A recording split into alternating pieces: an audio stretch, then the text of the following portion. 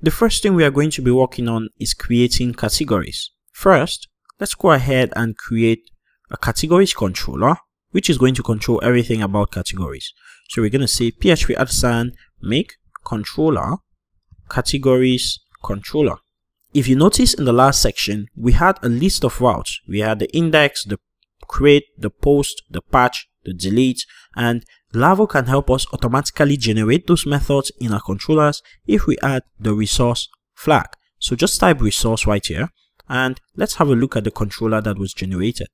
So if you check out categories.php, you can see we have the index and this is going to be used to display a listing of the resource. We have the create to show the form for creating a new resource. We have the store to store a newly created resource in storage. We have the show to show a resource, edit to show the form for editing, update to update, and finally destroy for deleting. And those methods are automatically generated for us. So the next thing is in our web.php file. If we want to automatically register all the routes for categories, we can do a route resource called categories and match this to the categories controller. Notice that I didn't add the method. Just like here we have home controller at index, I didn't add the method because I'm using resource. And let's see the list of routes that Laravel registers. So at route list. So PHP artisan route list. So if you see right now, we have a bunch of category routes that have been registered for us. The first is the categories for create or storing a category, which is a post. And then we have get categories to see a list of posts. Then we have create to get the form for creating a post. We have categories right here to update a single category. Notice that it's a put patch request. Then we have categories get to show a single category. Then we have delete to delete a category and edit to edit a category.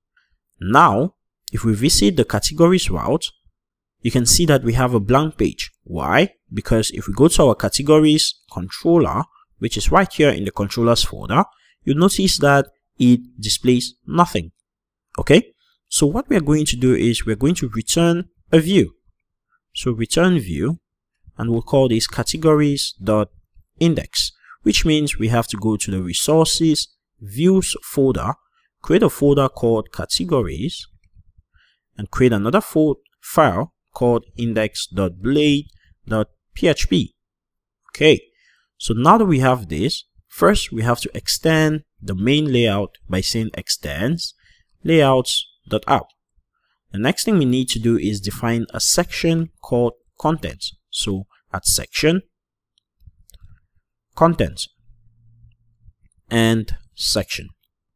So if we refresh this page right now, you can see we have the page, but the content is empty. So let's go ahead and fill that page with some content. We're going to have a card, the card default, a card heading or header actually, and this is going to say categories. So if we refresh this right now, great, you can see we have categories right there. So on this page, we are going to display a list of categories. But we need to be able to create categories first. So we are going to add a link at the top of this page that says create category. So we're going to come to the categories right here and we're going to add a link. So a dot button dot button success dot float right and this is going to say add category. If we refresh, okay, that's a button, but we don't want it to look like this, right? So we're gonna instead use display flex instead of using float. So I'm just gonna create a div with a display of flex dot justify content end to float the flex items to the end and I'll paste my link right there. So if we refresh, great, you can see we have our link at the top right there. Maybe we just want to give this a margin bottom of 2 just so it has some space. And great, awesome. So we have our add category button and when we click on this link, what we want to do is actually take us to the path for creating a new category. Now, at the moment it's empty, but we can go ahead and do categories slash create. But if we want to know the route, we can do sign route list and check out the get. We have category slash create right here. And that's for creating a new category. Okay. So we can do categories slash create. And if we refresh, click on this, you can see we have an empty page because this route is still empty in our controller. So if you check categories controller, the create method is still empty. Okay. But I want to show you something really interesting. At the moment, we are using slash categories slash create as the path, which works because that's the path for this route right here. But what we want is to actually use a route name. And I'm going to show you exactly what route names are. The reason is if we use the path and in future we want to change this path to category slash new, we would have to find everywhere where we have this and change it to category slash new, which is not very efficient. What we want to do is instead use a route name. So we're going to call a route function and we're going to pass in the name of the route categories dot create. And how do I know the name of the route? You can check the name column right here in PHP Artisan route list and you're going to see the name right here categories dot create and this is going to the categories controller at create method. Remember, this is the resource route that automatically registered this for us. If you look at here, we have for the home. So the name of the route is home. And if you go to the web.php, check out the home route, you can see that after defining the route, a name function is called and the name is given as home. And that's why it shows up here as home. And this makes it really easy to be able to access the home route. So in case I want the home route, I can simply do route and home. And in future, if I decide to change the home route to something like dashboard, I don't need to change everywhere to dashboard. All I just need to do is change the route and automatically everywhere route home is, it's just gonna match what I have here. Okay. So that's a really cool way to define your routes. So here we're just gonna have categories dot create. And if we come back to application, you know, go back, check the link, click again, it looks fine. So the last thing we're going to do in this lesson is simply set up the view so that we don't have to do that in the next lesson. So here I'm going to have a create.blade.php.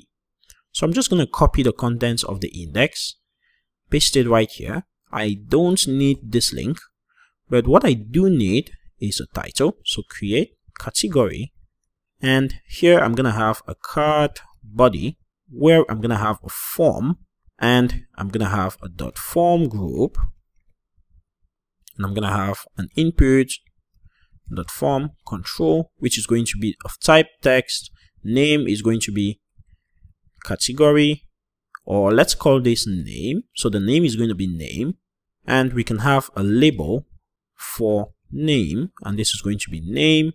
And if we have a label then we need to have an id for name.